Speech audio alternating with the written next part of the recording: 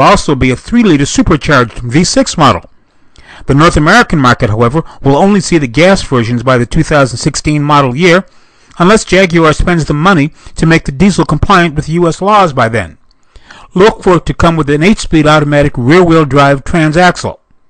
At the same show, Lamborghini, best known for its powerful sports cars with a distinctive exhaust note, went quiet with the reveal of the Asterion LP 910. Ostensibly branded a concept, this is a plug-in hybrid that can turn heads. It has a range in pure electric of 50 kilometers, and this is enabling the car to drive emission free in the cities. But on the other hand, you have also a very strong V10 engine, and in combination with three electric engines, we achieve a horsepower of 910, which is the most powerful Lamborghini we've ever built. Its competition will be the Porsche Spyder 918, which is already boasting about its performance and green technology.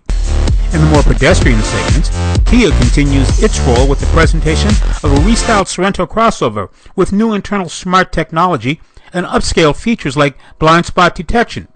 But not one to miss the green party, Paris saw what appears to be the production version of the Electric Soul small crossover. The company has already announced plans to make both of these platforms available in the North American market sooner than you think. This is Greg Morrison. We want to know what you think, so email us. The address is bumper to bumper TV at cs.com.